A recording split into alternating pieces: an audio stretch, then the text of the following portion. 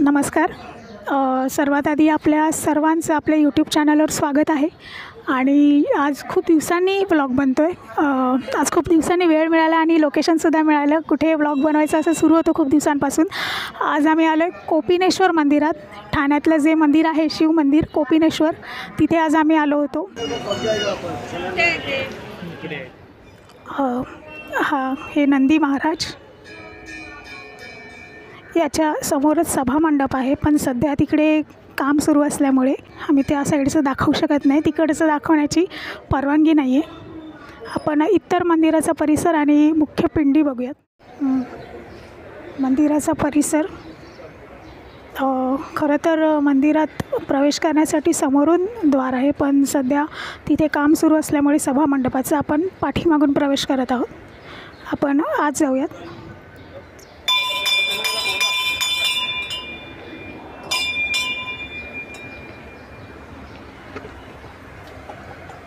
चला.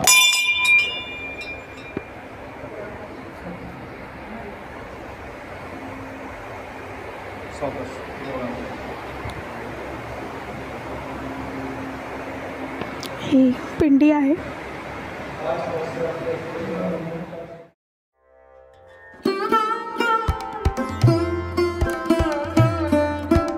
श्री कौपिनेश्वर ही ठाण्याची ग्रामदेवता म्हणून ओळखली जाते.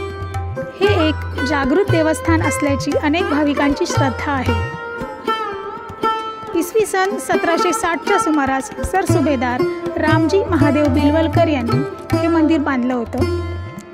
श्रीमंत बाजीराव पेशवे यांनी इसवी सन सतराशे चोपन्न साली रामजी बिलवलकर यांना राहण्यासाठी म्हणून ठाण्यात एक वाडा बांधून दिला होता. येथील मासुंदर तलावात जे आज मंदिरात प्रतिष्ठापित केलेले शिवलिंग आहे ते सापडले. म्हणून मंदिर उभे करून शिवलिंगाची प्राणप्रतिष्ठापना करण्यात आली. आणि हे मंदिर भाविकांकरिता खुले करण्यात आले. मंदिरातील शिवलिंगाची उंची चार फूट तीन इंच असून गोलाकार घेर बारा फुटांचा आहे. महाराष्ट्रात हे सर्वात मोठ्या आकाराचे शिवलिंग म्हणून ओळखले जाते. मंदिर पहाटे सहा वाजता उघडले जाते. दुपारी साडेबारा ते साडेतीन मंदिर व परिसर साफसफाई करण्यासाठी बंद असते. आणि पुन्हा दुपारी साडेतीन ते रात्री दहा वाजेपर्यंत मंदिर दर्शनाकरिता खुले असते.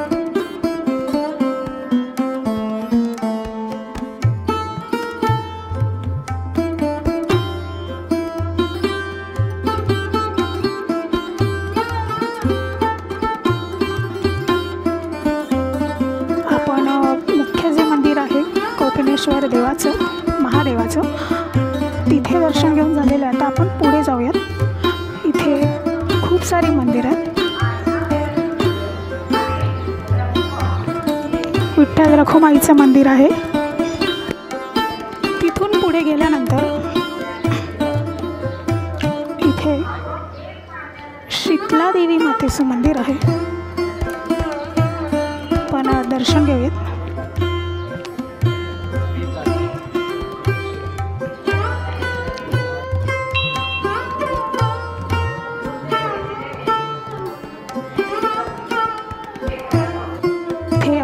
आपण घालू शकतो.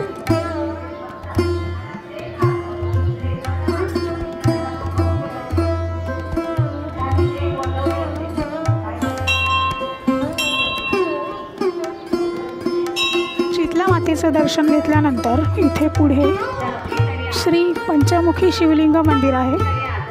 आपण आज जाऊयात.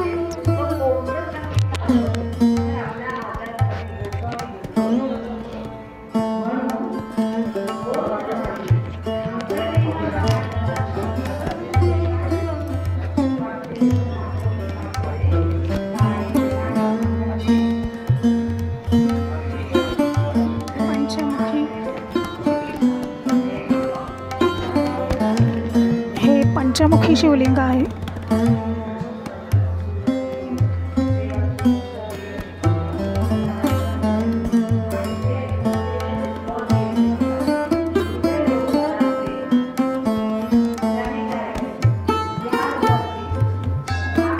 इथे श्री राम मंदिर आहे.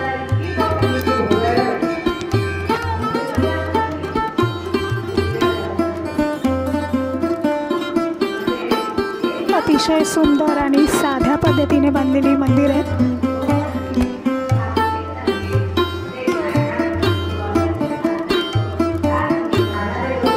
इथे सध्या भजन कीर्तनाचा कार्यक्रम सुरू आहे. छानसा सुंदर असा. आपण इथे प्रदक्षिणाही घालू शकतो.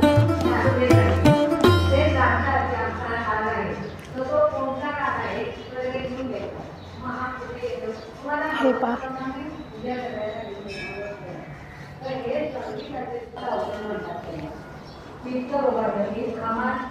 सुंदर अशी रचना आहे.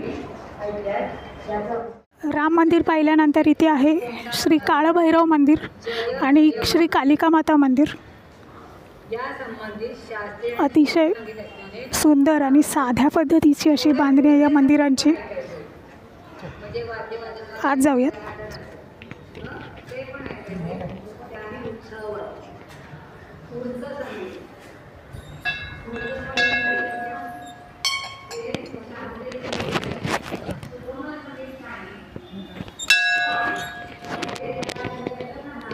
आपण तिकडून जाऊयात.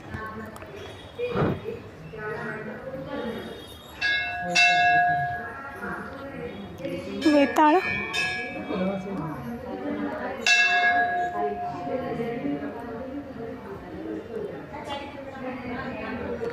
इथे श्री काळभैरवाची मूर्ती आहे. इथून पुढे श्री कालिका मातेची मूर्ती आहे.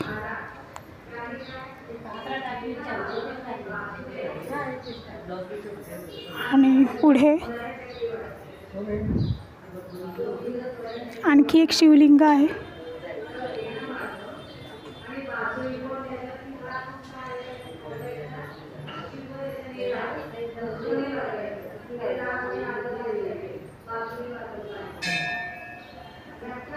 इथे श्री हनुमंताची मूर्ती श्री मारुतीचं मंदिर आहे इथे.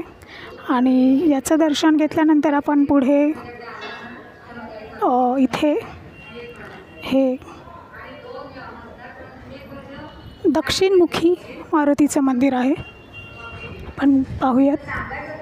श्री दक्षिणमुखी मारुती मंदिर. आपण आज जाऊयात.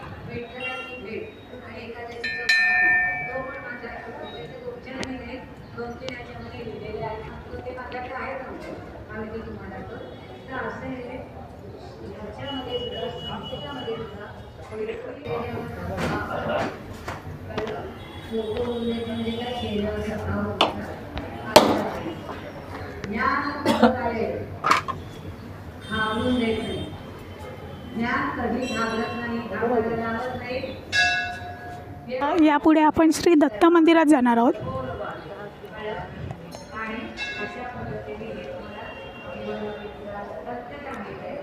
हे श्री दत्त मंदिर आहे.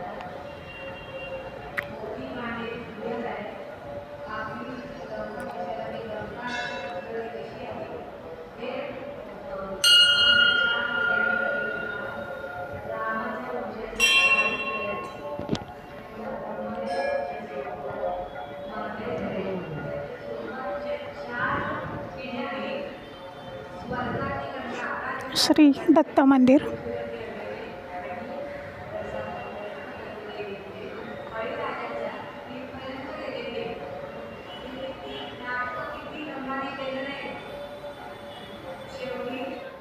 श्री दत्त महाराजांचं दर्शन घेतल्यानंतर इथे आणखी एक हनुमानाची मूर्ती आहे. हनुमानाचं मंदिर आहे. हा मंदिराचा संपूर्ण परिसर आहे. बाहेरून दिसत नसला तरी आतून खूप प्रशस्त असं मंदिर आहे आणि परिसर आहे. आणि इथे वरती तुम्ही पाहू शकता. ज्ञान केंद्र वाचनालयसुद्धा आहे. आपण सध्या लायब्ररी जिथे आहे वाचन केंद्र जिथे आहे तिथे आहोत. आणि तिथून हा मंदिराचा परिसर अतिशय सुंदर दिसतो. तुम्ही बघू शकता. खूप इथे वाटत नाही की इथे मंदिर आहे. कारण आजूबाजूला दुकानं आहेत. त्यातच हे मंदिर आहे मगाशी जे मी वाचनालयाचा उल्लेख केला होता ते हे वाचनालय. आणि खूपच सुंदर अशी प्रशस्त अशी ही लायब्ररी आहे. एकोणीसशे सत्याहत्तर साली या वाचन केंद्राची स्थापना करण्यात आली होती. पंचेचाळीस वर्षे जुन्या या वाचन केंद्रात दहा हजारांपेक्षा जास्त धार्मिक पुस्तकं उपलब्ध आहेत. पाचशे रुपये डिपॉझिट आणि शंभर रुपये वार्षिक वर्गणी भरून येथील पुस्तकांचा लाभ घेऊ शकता. मंदिरात सध्या बांधकाम सुरू असल्यामुळे सभा मंडपाचं बांधकाम सुरू असल्यामुळे समोरचा मंदिराचा जो प्रवेशद्वार आहे मुख्य प्रवेशद्वार तो बंद आहे. तर अशा वेळी तुम्ही बाजूलाच केळे गल्ली म्हणून आहे तिकडे लिहिलेलं आहे बाहेर तसं. तर तिथून तुम्ही प्रवेश करू शकता मंदिरात आणि दर्शन घेऊ शकता शिवशंकराचं. नक्की या दर्शन घ्या. देवाचे आशीर्वाद घेऊन जा.